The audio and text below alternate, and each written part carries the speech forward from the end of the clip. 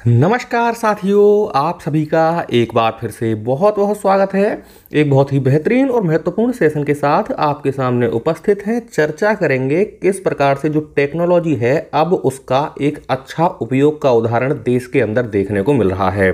हम जब भी बात करते हैं फॉरेस्ट रिज़र्व के बारे में, टाइगर रिज़र्व के बारे में तो हमें जो है खूबसूरत से नज़ारे दिखाई देते हैं। घने घने जंगल, जंगलों के बीच में नदियाँ और नदियों के बीच में वन्य जीव वन्य जीव जब दिखाई देते हैं तो काफ़ी ज़्यादा पर्यटन का स्रोत भी हमारे लिए ये बन जाते हैं।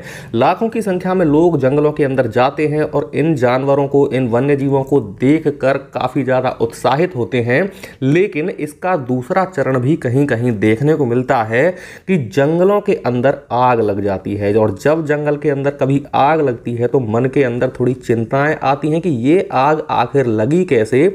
और इस आग को इतनी गंभीर हो चुकी है, इसका पता आखिर सरकार को क्यों नहीं चला? और सरकार को पता चलने के बाद बाद इस आग को बुझाया क्यों नहीं जा सका? क्योंकि फ़िलहाल की तारीख में यदि हम देखें तो किसी भी जंगल में यदि आग लगती है तो उसका पता तभी लग पाता है जब वो विराट रूप धारण कर लेती है। और आग को बुझाना लगभग लगभग बहुत मुश्किल हो जाता है। आप देखते हैं ये news massive fire in Sariska forest. हर साल गर्मियों के मौसम में इस प्रकार की खबरें हमें देखने को मिलती हैं। तो आर्टिफिशियल इंटेलिजेंस की मदद से अब बुझाई जाएगी जंगल की आग। क्या कुछ हुआ है टेक्नोलॉजी के बारे में? आज के सेशन में विस्तार पूर्वक करेंगे चर्चा। तमाम इस प्रकार की न्यूज़ और जंगलों के अंदर लगी हुई आग और साथ में चिंताएँ कि जो वन्य जीव यहाँ रहते हैं इन जंगलों के अंदर, उनका आखिर क्या हुआ होगा? मैसिव फायर्स होती हैं, इनके बचाव के लिए जो प्रयास किया जा रहा है, वो न्यूज़ आप देखते हैं कि Pench tiger, tiger reserve gets A I based fire detection system, बहुत ही बेहतरीन ये खबर आपके सामने है। इंडिया के अंदर एक टाइगर रिज़र्व है, जिसको आप जानते हैं, पेंच टाइगर रिज़र्व। जो है हमारे महाराष्ट्र और साथ में मध्य प्रदेश के बॉर्डर पर ये स्थित है। पेंच टाइगर रिज़र्व, इसके अंदर artificial intelligence based fire detection system मिल गया है। एक ऐसा सिस्टम मिल गया है कि यदि जंगल के अंदर आग लगती है तो जंगल की आग का पता टेक्नोलॉजी के द्वारा, आर्टिफिशियल इंटेलिजेंस के द्वारा पता लगा लिया जाएगा। सिर्फ़ तीन सेकंड के अंदर आग का पता लगा लिया जाएगा और उस आग को बढ़ने से पहले ही काबू पा लिया जाएगा। इस प्रकार की टेक्नोलॉजी है, थोड़ा सा जानते हैं। पेंच टाइगर रिज़र्व के बारे में क्या कुछ है इसके अंदर? आप देखते हैं पेंच टाइगर रिज़र्व।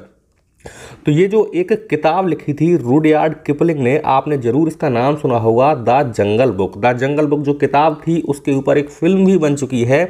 असल में कहा जाता है कि जो ऑथर थे रूडिया रूडिया किपलिंग। इनके द्वारा ही बताया गया था कि पेंच टाइगर रिज़र्व जो है, उसी से प्रेरित होकर इन्होंने ये किताब लिखी थी। तो काफ़ी अपने आप में बहुत सारी बातें समेटे हुए बैठा है अपने साथ।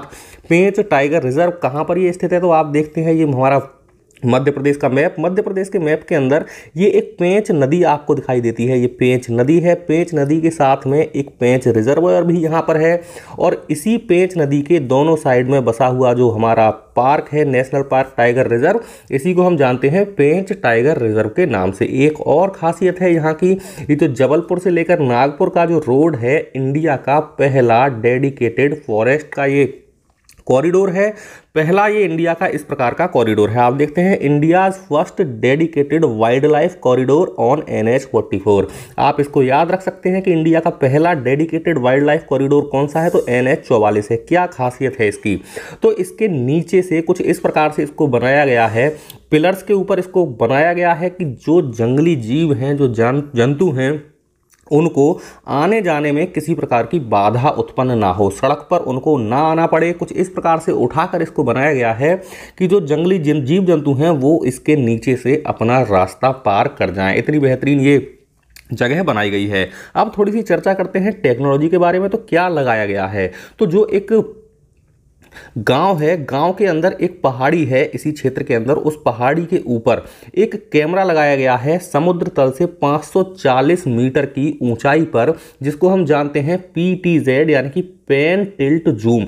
कैमरा जो है वो लगाया गया है। इस कैमरे की खास बात यह है कि इसके अंदर सेंसर्स हैं, ये काफ़ी दूर तक।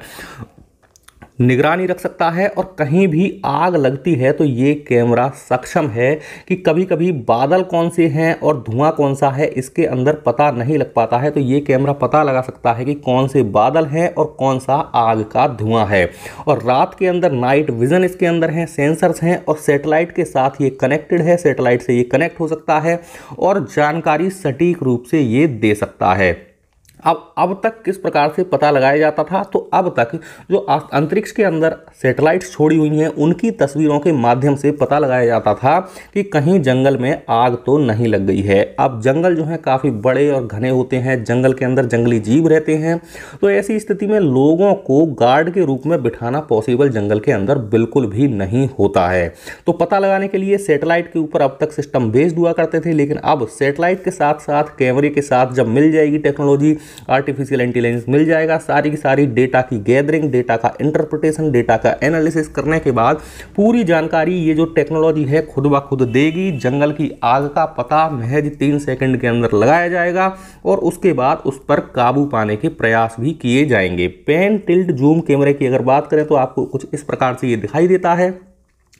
हॉरिजॉन्टली भी ये काम कर लेता है, वर्टिकली भी ये काम कर लेता है और बहुत ही बेहतरीन, काफ़ी ज़्यादा ये अच्छा कैमरा माना जाता है। अब ये जो है आर्टिफिशियल इंटेलिजेंस पावर्ड ये कैमरा है, ये जो टेक्नोलॉजी है, पूरा प्लेटफॉर्म है, इसको नाम दिया गया है पेंटेरा आप इसको याद रख सकते हैं पेंटो पेंटेरा नाम की जो टेक्नोलॉजी है, उसके माध्यम से पेंच टाइगर रिज़र्व के अंदर ये व्यवस्थाएँ की गई हैं। एक सीसीटीवी कंट्रोल रूम लगाया गया है, जिस कंट्रोल रूम के माध्यम से जो कैमरा लगाया गया है सेटेलाइट जो ऊपर अंतरिक्ष में है, उन सब का डेटा कलेक्शन के लिए, उस डेटा के इंटरप्रिटेशन के लिए सीसीटीवी कंट्रोल रूम है और इसके माध्यम से तुरंत पता लगा लिया जाएगा कि कहाँ आग फैली है या नहीं फैली है, कि बादल है या आग है और हमारे जंगलों को सुरक्षित रखने के लिए ये टेक्नोलॉजी काम आएगी और आने वाले भविष्य में हो सकता है कि और जो हमारे रिजर्व्स हैं, उनके अंदर भी इस टेक्नोलॉजी को प्रयोग में लाया जाए। तो आर्टिफिशियल इंटेलिजेंस और टेक्निकल अपग्रेडेशन के बारे में आपकी क्या राय है कमेंट के माध्यम से ज़रूर बताएँ।